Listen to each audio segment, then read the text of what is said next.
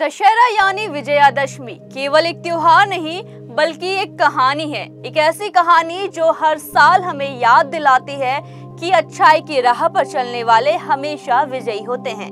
इस बार का दशहरा भी हर साल की तरह कुछ खास है, क्योंकि हम इसे न केवल धार्मिक उत्सव के रूप में, बल्कि एक सांस्कृतिक महापर्व के रूप में मनाते आ रहे हैं।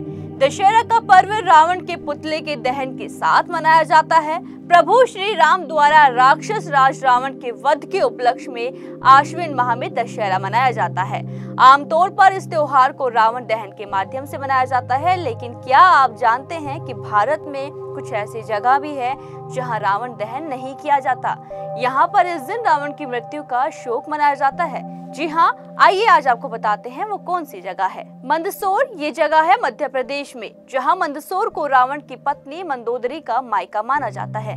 यहाँ रावण का दहन नहीं, बल्कि उनकी पूजा होती है, क्योंकि स्थानीय लोग उन्हें दामाद मानते हैं। दूसरी जगह है बेंगलुरु, जहाँ कुछ समुदाय रावण की पूजा करते हैं।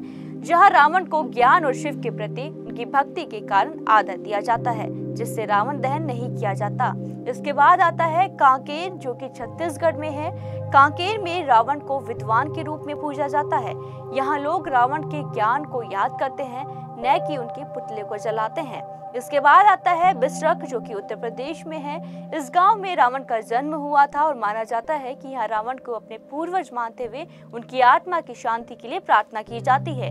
वहीं गढ़चिरौली जो कि महाराष्ट्र में है कोट जनजाति लोग खुद को रावण का वंशज मानते हैं और रावण को अपना पूर्वज मानकर उनकी पूजा करते हैं। इसलिए यहाँ रावण दहन नहीं होता, फिर आता है मंडोर जो कि राजस्थान में है। मंडोर को रावण का ससुराल माना जाता है, यहाँ रावण का पुतला नहीं जलाया जाता। बल्कि लोगों का मानना है कि रावण के साथ उनकी परंपराएँ जुड़ी हुई है, जिससे हर साल विशाल रावण को आग के हवाले किया नहीं जाता है। लेकिन क्या आप जानते हैं कि इस बार का जो रावण का पुतला है, पूरी तरह से बायोडिग्रेडेबल सामग्री से बनाया गया है? हाँ यह पहल पर्यावरण की सुरक्षा को ध्यान में रखते हुए की गई है, ताकि हमारी परंपराएँ भी प्रकृति के अनुकूल हो। इस वर्ष विभिन्न शहरों में सांस्कृतिक कार्यक्रम की भरमार है। दिल्ली में रामलीला का भव्य मंचन हो रहा है, जिसमें बॉलीवुड के कुछ प्रसिद्ध कलाकार भी हिस्सा ले रहे हैं। वहीं मुंबई में मशहूर गायक इस अवसर पर विशेष प्रस्तुति देंगे। और हाँ दशहरे के मेले में खाने पीने की चीज़ें की भरपूर विविधता देखने को मिलेगी। चाट, फास्ट फ़ूड और मिठाइयों के साथ ये त्योहार मनाया जा रहा है। दशहरा केवल रावण के दहन का पर्व नहीं है, बल्कि यह उन स्थलों का रावण की पूजा का भी प्रतीक है, जहाँ उन्हें सम्मान दिया जाता है। यह त्योहार हमें याद दिलाता है कि अच्छाई की विजय का मतलब केवल बुराई को समाप्त करना नहीं, बल्कि हमारी सांस्कृतिक धरोहर को भी सजोना है। इस दशहरा पर हमें सिर्फ़ रावण के पुतले का दहन नहीं करना है, बल्कि हमें अपने अंदर की बुराइयों का भी दहन करना है। आइए, हम सब मिलकर इस अवसर को एक नई शुरुआत के रूप में मनाएँ और सकारात्मकता के साथ आगे बढ़े।